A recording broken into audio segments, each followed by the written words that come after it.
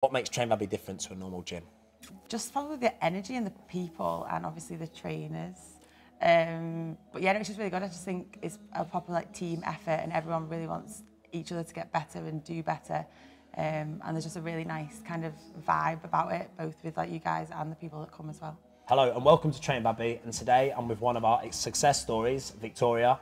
Victoria, you've done amazing since joining Train With Adby. Thanks, Eddie. How did you hear about Train With Adby? There was quite a few people in my work that had been here before, but one of my best friends, Hannah, had joined and lost so much weight and literally looked amazing. And I had a year to do the same, so I decided to join as well.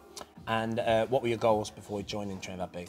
So this year has basically been the year of the wedding for me. I've had about five weddings, a bridesmaid three times, so I wanted to lose a stone and a dress size before um, October this year. I used to go to the gym a lot, but then moved to London with work and just got into a really bad routine of eating really bad, going out all the time, not really making time for any exercise. And then um, moved back up, realised I got into like, like a really bad um, habit and just needed to change it.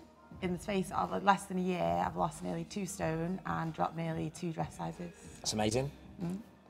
Thanks. Now I want you to tell us um, how you've done that.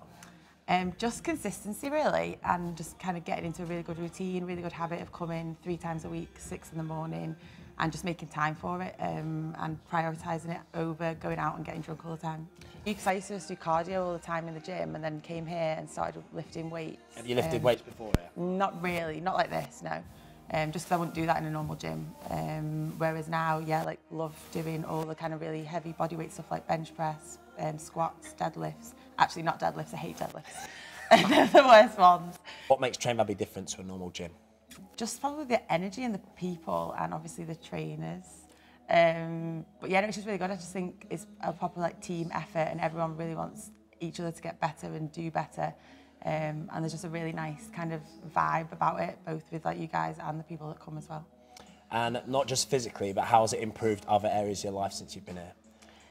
I just think one, if you're feeling good and you're looking good, it just improves every aspect of your life, from like your work to your personal life to how you feel. Um, and yeah, just as, as a whole, just feels so, so, so much better. And just the point you touched on there about your personal life, you've even managed to Ah, get yourself, stop, get yourself a boyfriend, Oh, haven't you? No, really not. Let's make it I'm official. not, Come I'm, on. I'm not, I'm not, I'm absolutely not. official.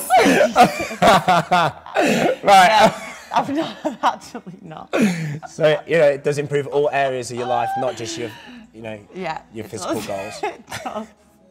It. What would you say to somebody who um, is a bit nervous about joining the gym, or might be a bit, you know, like maybe the same sort of fears that you had before? Um, what would you say to them to give them maybe a bit of a push to go for the gym? I just say just come and try it. Um, I think everyone's at different levels and everyone does different things, but you can kind of gauge it to however, like whatever your fitness level is. So um, yeah, just do it.